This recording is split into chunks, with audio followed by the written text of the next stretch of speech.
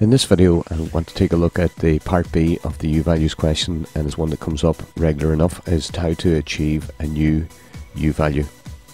So here's the question, part A as you can see is calculate the u-value and uh, you have to go about that before you can do the part B.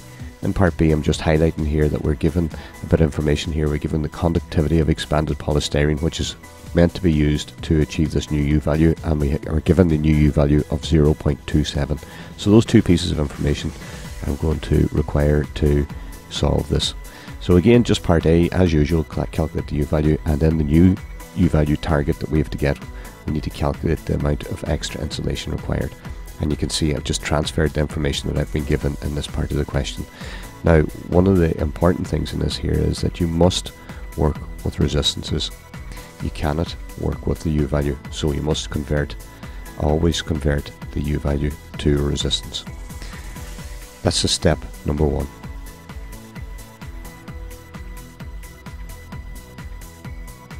So we have the two U values. So we can what we can do is we can convert. We know what we want to get. We want to convert our U value, the one that we're given to achieve. We want to convert that into a resistance. And the required U value that is given us in the question is 0.27. And to convert that to a resistance, all we do is divide 1 by 0.27. I'm just going to demonstrate it here. You may have a reciprocal function on your calculator, which will work fine. So I'm just going to take 1 and divide it by 0.27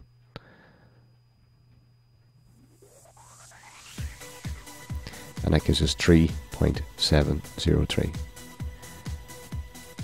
and the existing resistance we have from our U value table we don't actually have to work with the U value we have that resistance from our table and it's 0.63959 and if I want to get the U value convert that back convert that to a U value as you can see here I have the U value up here 1.5635 divide 1 by that and that gets me my resistance so I'm not going to bother writing that back in again because I already have it written on the, the sheet up here.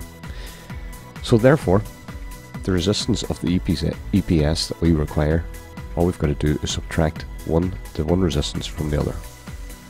As simple as that. So we're going to take 0.63959 and we're going to take that away from 3.703. So the required R and the existing R. We subtract these.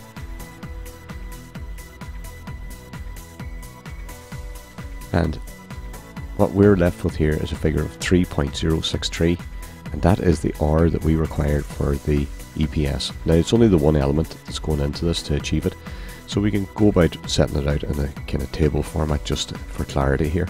So we've got the component which is EPS We'll have the conductivity which we're given in the first part of the question which I've written down here. You can see at the top of the sheet there conductivity of expanded polystyrene which is given in the part B of the question.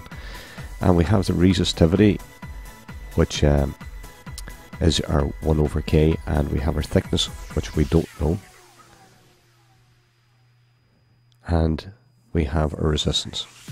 Now sometimes uh, the reason why I have the um, resistivity in is because that can also be used. There's two two methods in this here. So we've got the resistance, thickness, resistivity, conductivity as you would normally have for your table and your component. And the component we have here is EPS.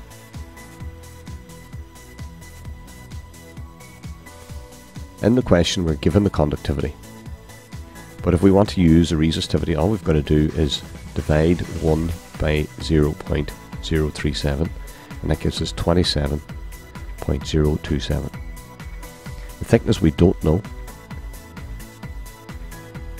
and the resistance we have worked out from subtracting the two R's, which is 3.063. So what we can do here is we can go by having the resistance is equal to the thickness over the conductivity, or we can go with the thickness is equals the resistance multiplied by conductivity. So if the thickness is the resistance which we have, we know the conductivity is 0.037. And we multiply these out, it will give us our thickness, which the unit of measurement is in meters. So that's 0.113 meters. So that means that it's 113 millimeters of insulation.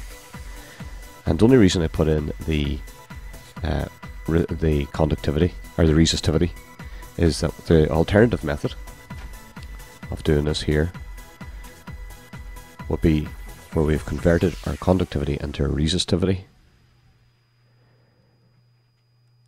and we know that the resistance is the thickness multiplied by the resistivity the small r or 1 over k whichever you want to use. So that means that the thickness would actually be equals to the resistance divided by the resistivity. That means 3.063 is divided by 27.027 and that gives us our thickness of 0.113 meters converted into millimeters is 113 millimeters.